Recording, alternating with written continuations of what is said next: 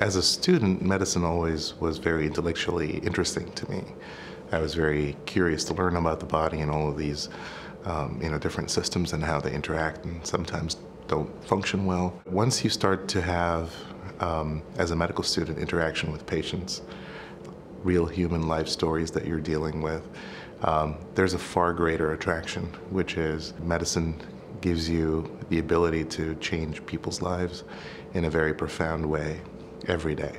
Taking care of children is very much different than taking care of adults. And what attracted me to pediatrics in the first place, and part of the reason why I feel I want to give my best every day, is that when you're treating children, you can sense a very strong fighting spirit in them. They always amaze you with their resilience.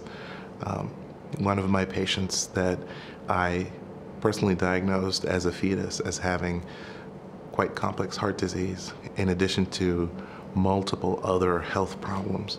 I have seen battle uh, multiple infections, go through multiple surgeries, and every time when hope seemed uh, bare, very scarce, and uh, it looked like perhaps he was not going to make it, he kept fighting very strongly.